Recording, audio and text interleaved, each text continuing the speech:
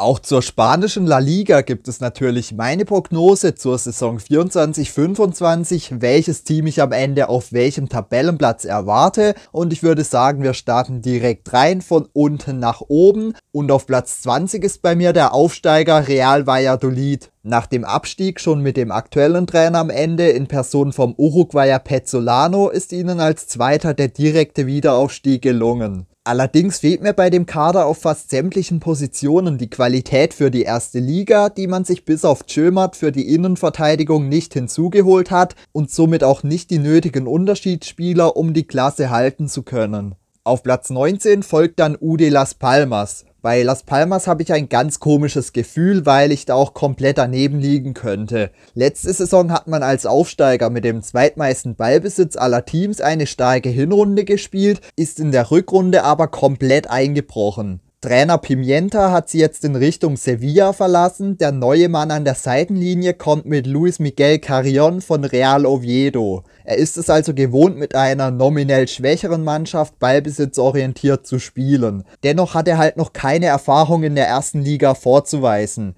In Kombination mit dem Fakt, dass man letzte Saison schon seine Expected Points overperformed hat, beziehungsweise nach diesen abgestiegen wäre und der Kader maximal auf dem gleichen Niveau geblieben ist, wenn überhaupt, sehe ich einen Abstieg als nicht unwahrscheinlich an. Vor allem der wahrscheinliche Wechsel im Tor von Valles, den für mich besten Keeper der Liga letzte Saison, zu Sillison, könnte ihnen Probleme bereiten. Und der dritte Absteiger im Bunde, zumindest laut meiner Prognose, wäre dann CD Lejanes. Mit Borja Jiménez haben sie einen jungen, aber dennoch schon erfahrenen Trainer, der sich erstmals in der ersten Liga beweisen muss. In seiner Debütsaison ist man letztes Jahr aufgestiegen und hatte dabei die mit Abstand beste Defensive. Dabei hat man zwar häufig 0 zu 0 gespielt, wurde am Ende aber dennoch souverän Meister, trotz dessen, dass man gegen Ende etwas nachgelassen hat. Aus der Aufstiegsmannschaft hat sie an wichtigen Spielern nur Torhüter Condé in Richtung Villarreal verlassen. Hinzu kamen beispielsweise die ablösefreien Tapia oder Rossier. Sie haben den niedrigsten Gesamtmarktwert aller Teams, dennoch finde ich die Kaderzusammenstellung in Kombination mit dem Trainer interessant, sodass ich sie nicht auf den letzten Platz tippe, auch wenn sie am Ende dennoch absteigen. Davor habe ich auf Platz 17 Rayo Vallecano. Sie sind extrem schwer einzuschätzen, da sie letzte Saison nahe am Abstieg waren. Gegen Ende der Saison hat der aktuelle und noch unerfahrene Trainer Inigo Perez übernommen und einen schwachen Punkteschnitt von nur einem Punkt pro Spiel vorzuweisen. Wenn man sich allerdings die Underlying Numbers anschaut, wären sie letzte Saison nach Expected Points siebter geworden und hatten von den Nicht-Absteigern die größte Underperformance, was das angeht. Demnach bin ich etwas zwiegespalten, ob sich das jetzt anpassen wird, denn der Kader wurde nicht extrem verändert, Stammtorwart Dimitrievski ist aber weg und wurde nicht adäquat ersetzt. Auch ansonsten fehlt mir bis auf Easy Palathon so ein bisschen die Qualität im Kader, weshalb ich sie jetzt mal auf Platz 17 tippe. Auf Platz 16 kommt dann tatsächlich Cea Osasuna. Nach der langen Amtszeit von Arasate hat man mit Vicente Moreno einen neuen Trainer, den ich per se nicht als schlecht ansehe, der sich aber erst noch mit dem Team einfinden muss. Das Gerüst ist dabei ein stabiles mit Spielern wie Moncayola oder jetzt der Laie von Zaragoza von Bayern. Allerdings hat Arasate jahrelang wahrscheinlich mehr aus dem Kader herausgeholt, als eigentlich drin war und genau jetzt hat man auch den absoluten Führungsspieler und besten Defensivspieler mit David Garcia nach Katar verkauft. Aufgrund dessen könnte es eine turbulentere Saison werden, wobei ich nicht ausschließen würde, dass sie mit unten reinrutschen. Auf Platz 15 sehe ich dann Retafe. Mit Bordalas, dem am jüngsten aussehenden 60-Jährigen der Welt, sind sie auf der Trainerposition gut aufgestellt. Er holt in etwa das aus dem Kader raus, was drinsteckt, teilweise etwas mehr. Allerdings ist das für diese Saison nicht besonders viel. Man hat zum Beispiel Maximovic und tatsächlich ja auch Greenwood abgegeben und aufgerüstet mit ein paar Neuzugängen wie Peter oder Sola, aber im Großen und Ganzen sehe ich wieder eine Saison über dem Strich ohne konkrete Abstiegsgefahr.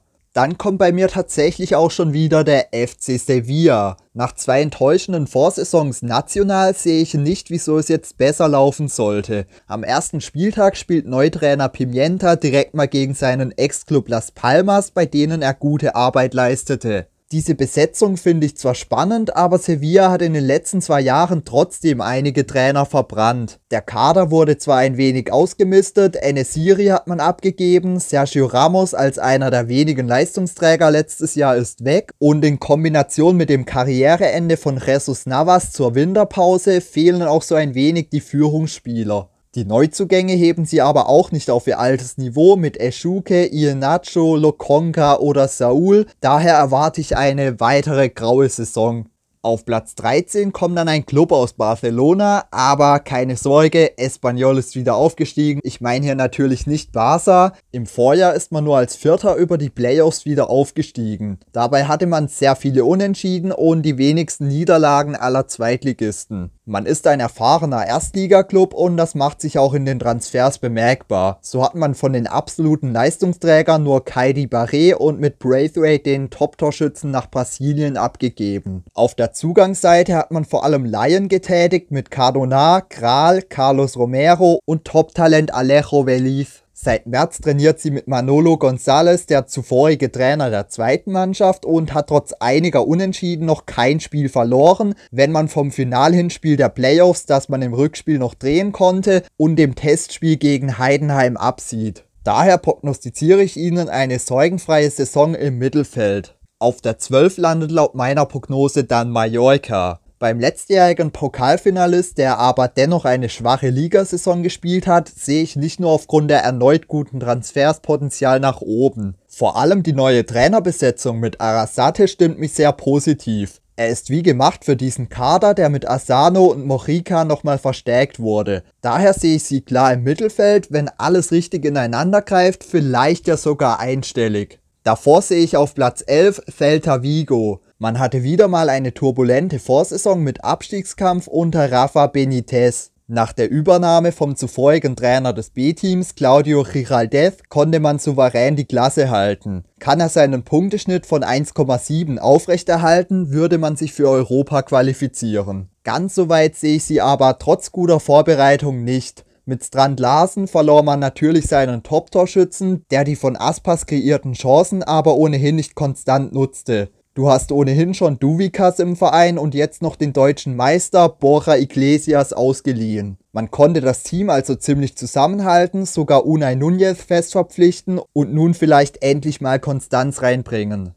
Genau in der Mitte auf Platz 10 befindet sich dann Deportivo Alaves. Letztes Jahr hat man als Aufsteiger eine übertrieben souveräne Saison gespielt. Normalerweise redet man dann ja von der schweren zweiten Saison. Das erwarte ich bei ihnen nicht, da ich sie, wie man sieht, auf einen erneuten 10. Platz getippt habe. Einerseits haben sie Leistungsträger wie Goro Sabel oder Javi Lopez verlassen, andererseits haben sie letztes Jahr sogar ihre Expected Points underperformed, haben danach sogar mit den internationalen Plätzen mitgehalten. Dementsprechend erwarte ich keinen Downfall, da sie unter Luis Garcia einstudierte Prinzipien haben, auf die sie zurückgreifen können. Neustürmer Via Libre ist zwar nicht dafür bekannt, seine Expected Goals zu overperformen, aber das war sein Vorgänger Omorodion, dessen Laie abgelaufen ist, auch nicht. Vielleicht kann ja Luca Romero, den man geliehen hat, im richtigen Umfeld endlich mal sein Potenzial in Leistung ummünzen.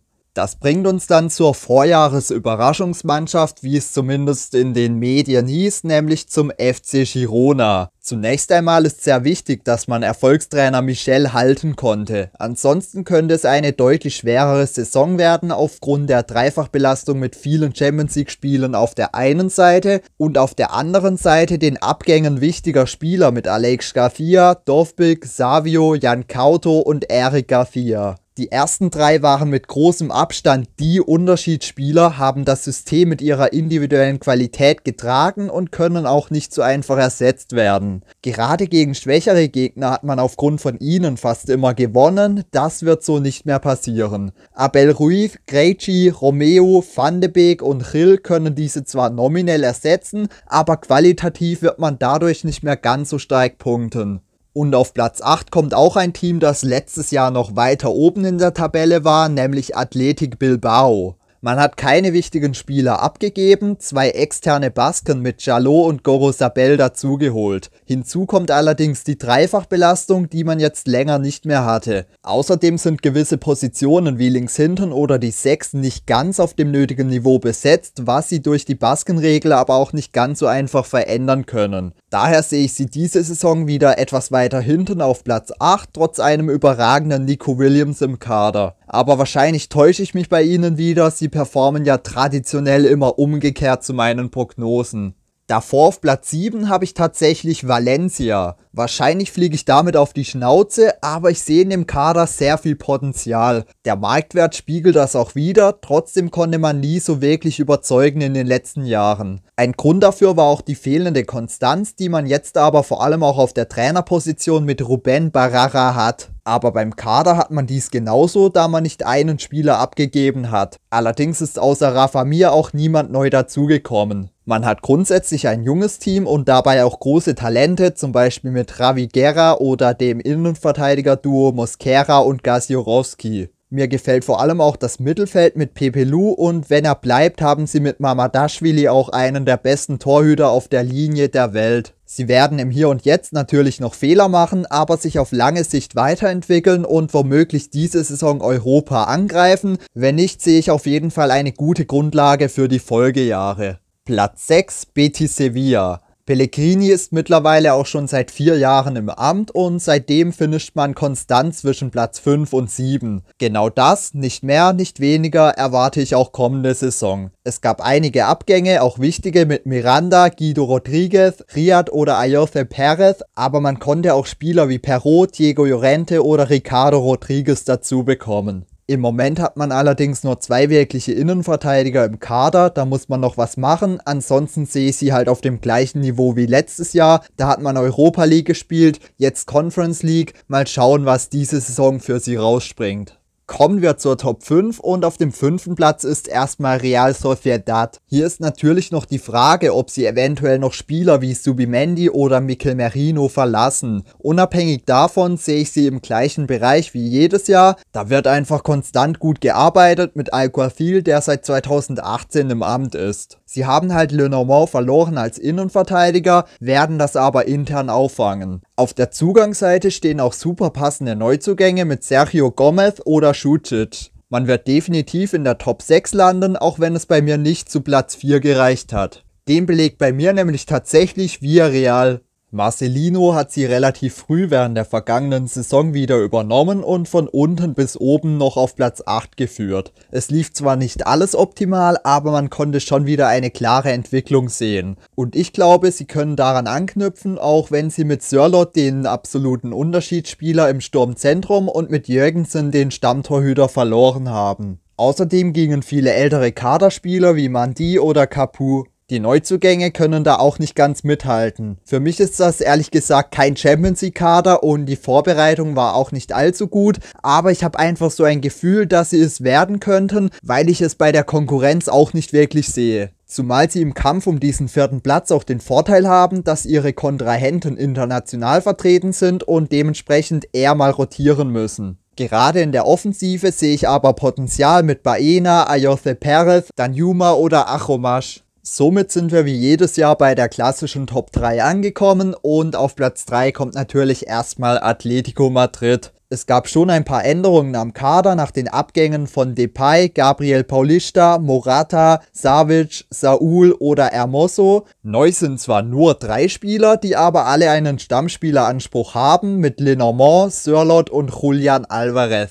Gerade letzterer wird 25 plus Scorer machen, da er ein enorm gutes Gefühl für den Raum hat, egal ob als Stoßstürmer oder hängende Spitze und jetzt anders als bei City in den wichtigen Spielen gesetzt sein wird. Insgesamt ist das einfach der drittbeste Kader in der Liga und genau das wird Simeone auch aus ihnen rausholen und erreichen. Vizemeister wird für mich wie im Vorjahr der FC Barcelona. Ich habe ehrlich gesagt ein ziemlich gutes Gefühl bezüglich Hansi Flick bei Barca. Seinen Stil konnte er vielleicht nicht auf die Nationalmannschaft übertragen, aber zu den Katalanen könnte es eigentlich ganz gut passen. Vor allem im Zentrum haben sie die individuelle Qualität, um das direkte Passspiel von Flick aufzuziehen. Sei es Petri, De Jong, Gavi, Gündogan, Fermin Lopez oder Neuzugang Dani Olmo. Neben ihm hat man sich bisher nicht weiter verstärkt, dafür aber auch kaum Leistungsträger abgegeben, abgesehen von den ausgelaufenen Laien von Cancelo und Joao Feliz, plus Sergi Roberto, der vor allem neben dem Platz wichtig war. Ich traue Barca unter Flick viel zu und hoffe, dass man auch mit einem zweiten Platz zufrieden wäre, denn an Platz 1 führt halt leider erstmal einfach kein Weg vorbei. Und das ist logischerweise Real Madrid. Die Abgänge von Groß, Nacho und Roselu haben Lücken hinterlassen, nicht nur qualitativ, sondern vor allem auch hinsichtlich der Erfahrung.